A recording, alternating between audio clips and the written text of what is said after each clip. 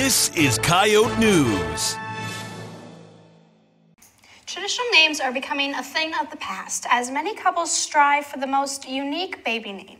We asked student, what's the worst name you could give your future child? Here's what they had to say. Drake. Quincy Score. Emmy. Michael Lochner. Dirt. Nick. Robert. Ingrid. That's the first thing that comes to my mind. Axel. Bernard, for sure. Chet. Testicle. Two words.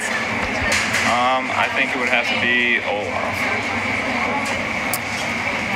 Maracucho. Probably Sebastian. I would never name my child Agnes. That's a gross name. Frank. I would never name my child Chrysanthemum. Probably Hayden.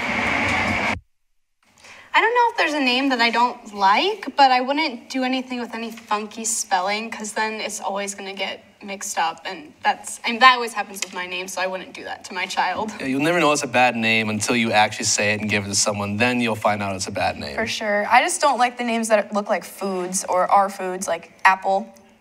I want or- to know what people you hang around to get those names. Be sure to pick up a new issue of The Volante out today with the first story of a two part series on lower participation numbers for student organizations. That's all for Coyote News. Don't forget to like us on Facebook and follow us on Twitter and Instagram. and be sure to watch and listen for Coyote News daily updates in English and Spanish throughout the week on KOR and the Coyote News social media pages. And tune back in tomorrow for Coyote News in Spanish at 11:30. Thank you and have a great night.